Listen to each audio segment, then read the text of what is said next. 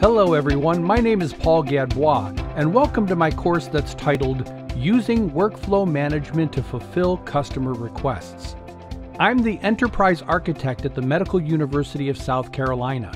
As an Enterprise Architect, I've developed a workflow management architecture which is made up of 11 individual processes that work together to help organizations ensure that they have the right people with the right skills doing the right work at the right time for the right reason.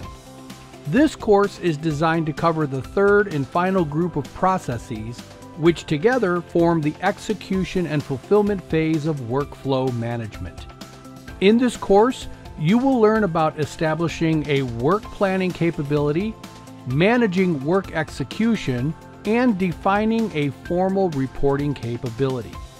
By the end of this course, you'll be prepared to implement all three processes and guide your organization in the adoption of these formal workflow management capabilities. I hope you will join me as we explore how to use workflow management to fulfill customer requests here at Pluralsight.